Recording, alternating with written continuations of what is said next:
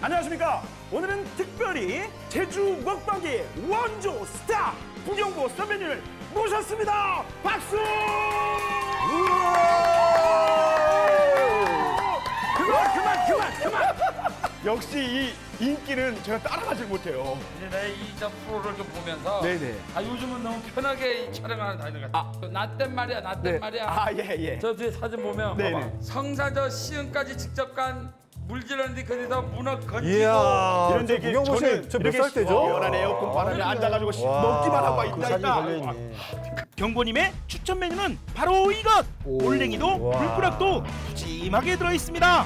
올랭이, 올랭이는 오리, 오리, 오리에서도 천둥오리. 네, 천둥오리를 근데 그냥 중국 올랭이라고 사람들 그냥 다 오리를 오리라고 갖고 한다. 오리. 야, 물 끓어, 물 끓어. 아, 타우린 그렇게 좋다는. 아, dim삭. 어이야. 아이고, 듬삭, 아이고, 듬삭. 아이고. 일단 잡숴봐, 잡숴봐. 아, 잡사봐. 또 자르지도, 자르지도 않고 저거. 저 씹는 맛이. 어. 골문에 태운 것 같습니다. 그리고 여러분들 문어나 낙지 같은 거 먹을 때 살짝만 배우 쪄서 먹으라고 하잖아요. 근데 이거 지금 계속 끓이고 있잖아요. 그럼 질깁니까? 잠깐, 잠깐, 잠깐. 내가 가장 불만인 게 이런 거라. 뭐, 뭐, 뭐. 요즘 먹방들이. 뭐? 와, 말이 많아, 말이 많아, 말이 많아. 맛이라는 거 봐봐. 아. 방풍잎 응. 이런 거 다 넣고 아. 곱사. 맛 좋게만 먹어라. 어! 이야, 과해 과해. 과해. 바로 다음 걸 이게 이게 옛날식 이게 옛날식. 아, 가진 채소에 오리고기와 문어를 넣어 특제 양념과 함께 한 소끔 끓여줍니다. 여기에 부추, 문어, 전복까지 푸짐하게 넣어 완성. 맛과 영양 다 잡은 오리 문어탕입니다. 아, 오리하고 문어가 만나기도 하네요. 이게 절묘한 조화를 이뤘다 이거죠. 네.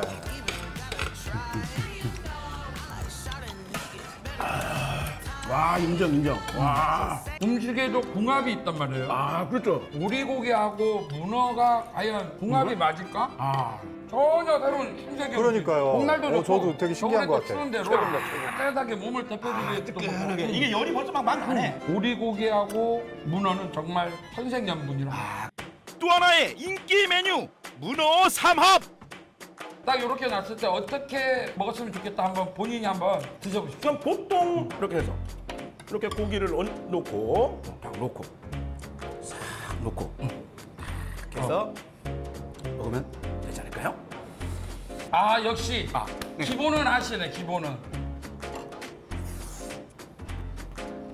자, 음, 고기 수육이 독특해요. 이 고기는 약간 갈비찜 달달한 간장향 그런 듯한 느낌이 좀 나고요. 이 집에 독특하게 하나를 더 넣는 가지고 정성.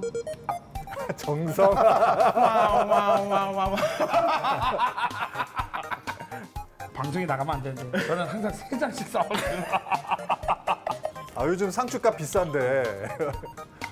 음, 어, 비빔밥을. 야. 이렇게만 먹어도 진짜. 기가 막힙니다. 저 덮밥이. 문어 젓갈을 넣은 비빔밥에 수육과 문어, 활용 점정, 보쌈무까지.